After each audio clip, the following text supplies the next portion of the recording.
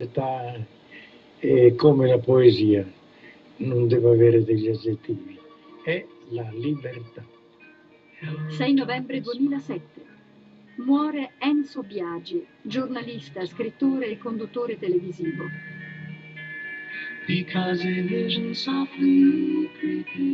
Nato nel 1920, è considerato uno dei migliori giornalisti italiani del XX secolo.